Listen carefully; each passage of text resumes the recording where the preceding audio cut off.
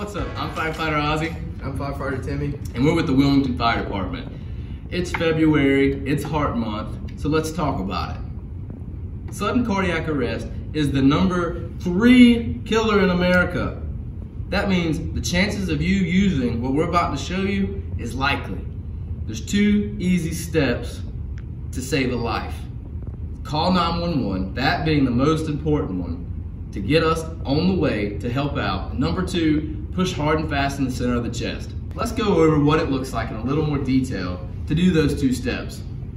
So you found someone that you believe to be in sudden cardiac arrest. You try to wake them up, hey, and they don't respond. You know now this is an emergency and you should call 911. The next thing you should do is push hard and fast in the center of the chest. A good way to do that is take your dominant hand, take the heel of your palm to the center of the chest.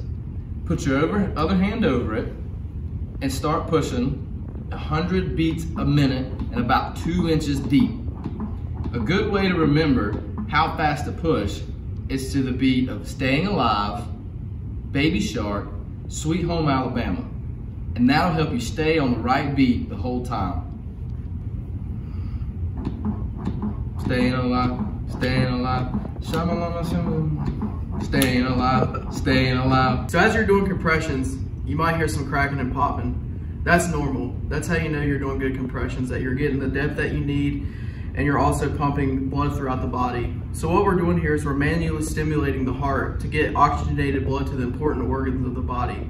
So what you're gonna do is, as you're, as Ozzy was saying, you're gonna pump to the beat of the song, and so you're gonna manually stimulate the heart.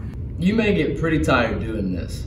We normally respond in four to six minutes, but when you're doing CPR at 100 beats a minute, that can feel like a really long time. So if you have somebody there to help you out, to swap out, that's good too. But if not, just keep going. We're on the way, and you got this. You ready, buddy? All right. We hope this training was helpful. We wish we could be there in person, but times won't allow it.